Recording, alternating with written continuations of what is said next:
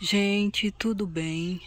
Hoje é meu aniversário, então quem quiser me dar os parabéns, colocar florzinhas aí para mim nos comentários, eu vou ficar muito feliz e muito grata. E hoje eu vou mostrar para vocês, tá?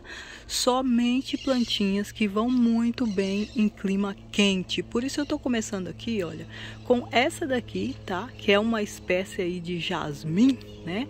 Como é chamada popularmente, mas na verdade ela é uma pluméria e ela tem essa essas florzinhas branquinhas com esse centro amarelinho e tem até um leve perfume. Ela vai muito bem em regiões tropicais e regiões de clima quente e ela gosta também até de um pouco de umidade, mas é uma planta muito rústica, muito fácil de cultivar. Uma vez que ela se estabeleça no local, ela vai muito bem, tá? Você só tem que tomar cuidado na hora de manusear ela, porque ela é uma planta leitosa e o leite que sai das folhas dela dela e também do caule é um leite tóxico mas ela fica bem alta, é uma planta linda e muito fácil de fazer muda. De repente alguém faz uma poda, joga na beira da estrada, você pode levar para sua casa e fazer a mudinha lá. Você só faz as regas nos primeiros dias para poder acontecer o enraizamento e depois ela vai embora. Principalmente na época chuvosa, é muito fácil fazer muda dessa planta, gente. E olha como ela é linda. Ela é chamada também de buquê de noiva justamente porque ela dá esses buquezinhos de flores brancas.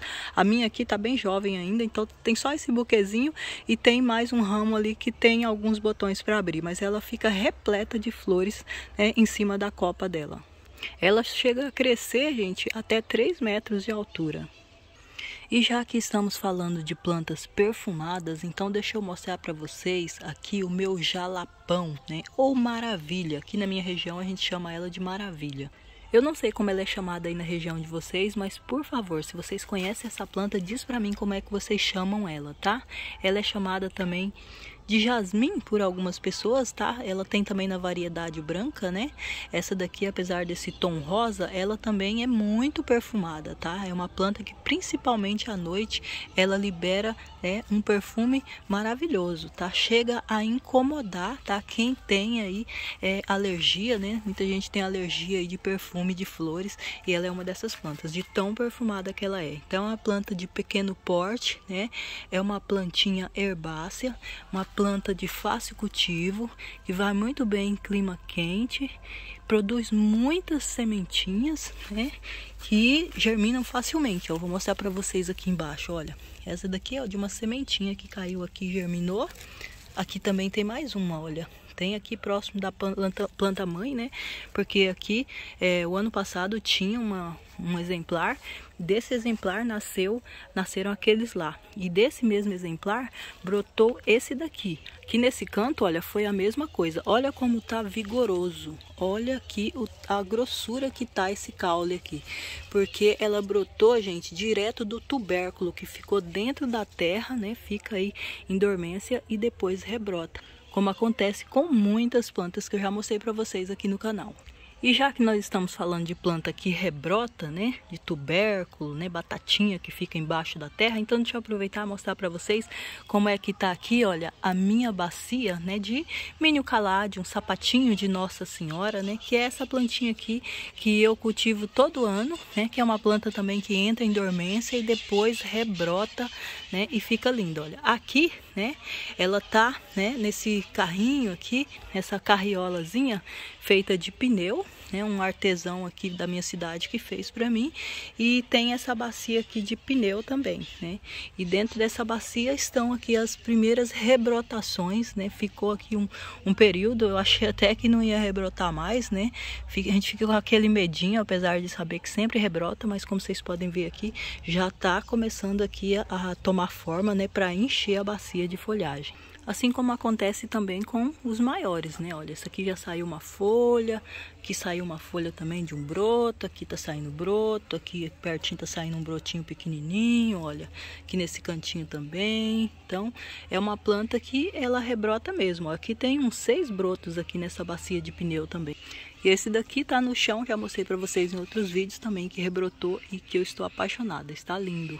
E tenho esses também, né, em bacias menores aqui, que eu vou fazer um vídeo especificamente dele. Olha esse daqui, olha, esse daqui já tá, ele tá até pendente aqui para um lado, né? Porque do lado de lá tava pegando menos sol, então eu vou ter que colocar ele num local onde ele não fique, né? Num, numa, numa parte aqui tão sombreada igual tava. Eu costumo cultivar eles aqui em meia sombra, tá, gente? Olha esse daqui que interessante, olha, ele rebrotou, né? E aqui, olha, ele tinha uma folhinha aqui que atrapalhou ele rebrotar. Ele, é, a, a força da folha, ó, cortou a folhinha, né? A força da folha dele aqui cortou a folhinha aqui para poder rebrotar. E existem diversas estampas dele, inclusive, né? Porque é nativo do Brasil, então tem umas bem variadas. Mas o que as pessoas acabam se apaixonando mesmo, né? É pelo mini caladium branco. Principalmente quando a bacia já tá assim, né? Praticamente já está cheia de folhagem. Mas não se preocupe, tá, gente? Eu vou fazer um vídeo, conforme eu já prometi para vocês, fazer um vídeo mostrando passo a passo como deixar ele assim totalmente cheio de folhagem. Eu quero que o de vocês aí na casa de vocês fique assim também. E eu sei que fica porque eu também comecei com dois bulbinhos, né? Que depois foi propagando e aí plantado da maneira correta, ele é, se desenvolve muito melhor como vocês podem ver aqui, tá? Dificilmente vocês vão ver uma bacia tão cheia de mini caládio desse jeito em outro local e é muito simples deixar ela assim, por isso que eu quero ensinar para vocês um vídeo passo a passo. E aqui a nossa quarta plantinha é uma florzinha delicada de folhagem comestível, gente né? É a nossa querida Manjo, Gomes, Major Gomes, Maria Gorda, como ela é chamada, né? Ela tem toda uma história aí que envolve a história do Brasil, né? Que serviu aí de alimento, mas enfim, essa é uma história que eu já contei para vocês, para esse vídeo não ficar longo, eu não vou contar a história dessa planta. Eu só sei que ela é uma punk, né? Uma planta alimentícia não convencional que era muito utilizada aí como alimento, né? Principalmente aí na época da escravidão escravidão aí do Brasil, mas ela é utilizada até hoje, né, por ser uma planta deliciosa. Ela só não é comercializada. Aqui no meu jardim eu utilizo ela como planta florífera porque ela é de muito fácil cultivo, gente. Ela é assim, praticamente uma suculenta que produz essas florzinhas delicadas. E falando em muito fácil cultivo, aqui está a nossa querida vinca, né? Que além de ser de muito fácil cultivo, é de muito fácil propagação, né? Uma planta que vai muito bem em clima quente, em locais ensolarados, né? Ou de sol parcial e produz muitas florzinhas para enfeitar os nossos jardins e as cores são variadas e você encontra né, em viveiros, floriculturas, até em supermercados, você encontra as mudinhas para comprar. Aqui acho que um bichinho comeu um pedacinho aqui da, da flor, da pétala. E lembrando que ela pode ser cultivada em vaso também. Aqui, por exemplo, olha, ela tá em vaso, né? Tem né, duas cores diferentes aqui no mesmo vaso, que eu acho linda, tá, gente? Estão sempre desenvolvendo cores diferentes dela aqui, tá? Inclusive eu tenho a, a roxinha também, mas está sem flores no momento. Por isso eu vou me contentar em mostrar para vocês somente essas daqui. Que eu já falei para vocês, né? Que elas nascem por todo lado que é ótimo, né? Uma vez que você tem essa planta, você pode né, fazer a propagação, doar mudinhas, vender sementinhas, enfim, fazer o que você quiser e ter ela sempre no seu jardim. Ela é bem precoce também a floração e como eu mostrei para vocês no vídeo do início da semana, olha, ela se propaga muito facilmente, né? Olha a quantidade de mudinhas aqui, que sementes, de sementes, né? Que caíram aqui e nasceram espontaneamente onde tinha aqui um exemplar. E aqui uma rosa do deserto, que tá com uma florzinha roxinha, já tá até meio desbotada, né, pelo sol. Essa daqui desbota bem facilmente. Mas como vocês sabem, a rosa do deserto é uma das plantas aí que é muito resistente ao calor, né? E ao sol. Inclusive ela ama sol, tá? Aqui eu tenho uma dobrada, né? Que é branquinha com essa borda aqui avermelhada, que tá com bastante botões. A última florada dela foi um espetáculo, né? E eu tô esperando que essa florada aqui também seja incrível. Ela tem botões aqui, olha, por todo lado nela aqui e algumas florzinhas aqui desse lado já começaram a se abrir. Ela tá plantada aqui, né, numa vasilha de cozinha que quebrou, né? E aí para reutilizar, para não jogar fora, acabei plantando ela aqui nessa bacia. E aqui, né, uma planta que a gente chama aqui de flor de Natal ou bico de papagaio, que eu acho linda e que nessa época do ano é muito comum a gente comprar para enfeitar a mesa do Natal, né? Por isso aí ela é chamada popularmente de flor de Natal. E eu tô apaixonada por essa cor aqui, gente. Eu achei ela muito linda. E essa planta é muito resistente ao sol, né? Então é uma espécie de planta que às vezes ela é comprada e aí quando ela vai ficando meio feinha, vai perdendo essas flores, né? A gente chama de flores, mas são folhas modificadas aqui de cima.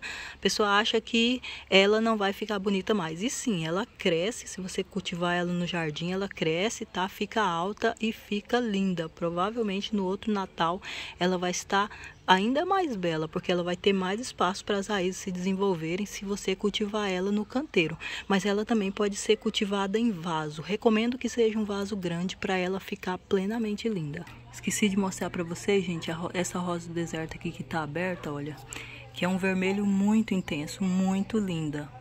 E já que eu voltei a falar da rosa do deserto, então deixa eu aproveitar e mostrar mais uma aqui que é muito, mas muito resistente ao sol. Ela ama sol e calor e é parente da rosa do deserto, né? É uma prima da rosa do deserto aí da mesma família da Apocynaceae, Apocynaceae, que é a espirradeira. Esse meu exemplar aqui no jardim ainda é bem novo, tá? Por isso ele não tá todo espirrado de flores, mas ele fica completamente espirrado de flores, né? Quando ele tá no auge auge da florada. E eu conheço três cores, né? Tem esse rosa mais escuro, tem um rosa bem bebê que é muito lindo e tem também uma branquinha. Você encontra mudas para comprar em viveiros e floriculturas e eu te garanto, é uma ótima aquisição se você mora em região de clima quente, tá? Porque é uma planta muito resistente, vocês podem ver que até a folhagem dela fica super bonita, mesmo ela estando aqui, olha, em sol pleno e muito calor. E como eu dei muito mais ênfase nas flores, então agora para finalizar eu vou mostrar para vocês a zamioculca, que é uma planta também que é muito utilizada né, no paisagismo, na ornamentação, como planta decorativa.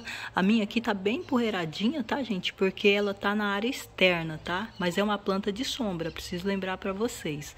Eu, a próxima chuva que der aqui eu vou deixar ela tomar uma chuva para ela se né, tomar banho aí naturalmente, sem precisar eu limpar as folhas dela. Quando eu limpo, eu limpo só com um paninho úmido em água mesmo, tá? Que é uma planta suculenta, tem essas folhas bem carnosas, né? Muito resistente, gosta de pouca água, já que ela tem ainda uma batata também, né? Entre aspas, uma batata dentro da terra, onde ela retém já nutrientes e água. Então, por isso ela é uma planta bem resistente. Ela só não pode, gente, sofrer encharcamento, porque ela já tem essa batata que retém umidade, então ela acaba apodrecendo aí as raízes e a batata se você encharcar ela. Se você é daquelas pessoas, tá? Que tem mania de encharcar as plantas, então vá com calma com a sua zamioculca, tá? Porque ela é uma planta que é muito resistente à falta de regas e não é à toa. Ela prefere, né, pouca rega do que você exagerar. A minha aqui mesmo, tá? Eu nem tenho assim um, um dia certo para regar ela não. De vez em quando eu venho aqui e jogo uma aguinha nela. E como vocês podem ver, né, ela tem um brilho belíssimo que é natural e típico, né, dessa espécie.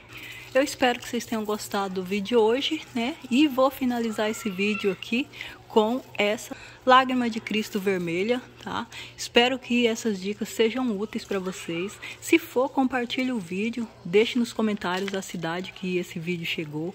Um beijão para vocês, até o próximo vídeo, a próxima dica e não esqueça de deixar os parabéns para mim aí nos comentários. Beijão.